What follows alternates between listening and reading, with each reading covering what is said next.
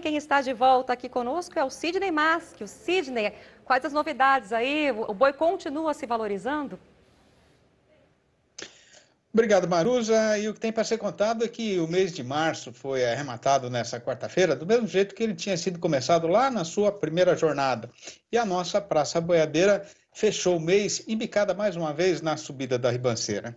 A respeito da oferta de boiada terminada, nessas horas derradeiras não mudou praticamente nada, né?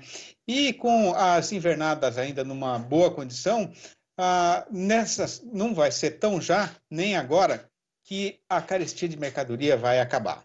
Já na parte é, da demanda, o bom resultado da exportação está sendo de fundamental serventia para continuar dando sustentação para a cotação. Né? Tanto que é, aqui em São Paulo, por exemplo, o fazendeiro que tem é, gado aí no figurino exigido pelo comprador estrangeiro está conseguindo pegar pelo menos seis reais a mais do que o preço falado aqui no mercado caseiro.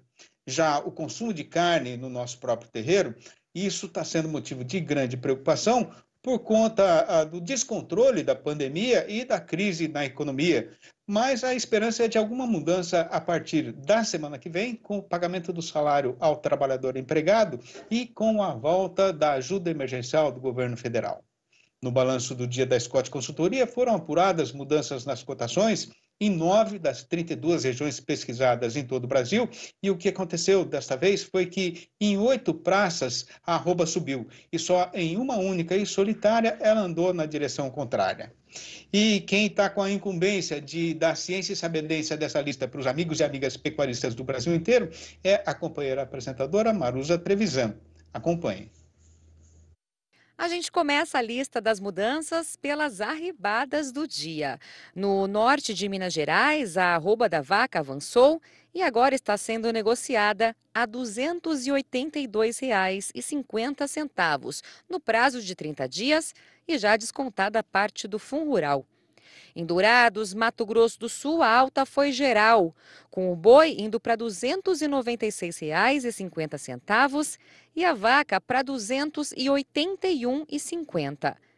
Já em Três Lagoas, também no Mato Grosso do Sul, a valorização foi só para o macho, que agora não sai por menos de R$ 291,50. No Mato Grosso subiu tudo. No norte do estado, o boi vem sendo falado a R$ 294,50, enquanto a fêmea arribou para R$ 281,50. Já na região sudoeste, o macho valorizou para R$ 297,50 e a fêmea para R$ 284,50. A gente vai agora para o Pará, onde também subiu tudo. Em Marabá, o boi vem sendo falado a R$ 286,50 e a vaca a R$ 281,50. Em Redenção, a alta foi só para o macho, que vem agora trabalhando em R$ 282,50. Já em Paragominas, também no Pará, o boi não sai por menos de R$ 283,50 e a fêmea por 277 reais. E a gente encerra a lista das mudanças com a única queda do dia. No sul da Bahia, o boi escorregou e agora vem sendo falado a R$ 280,50.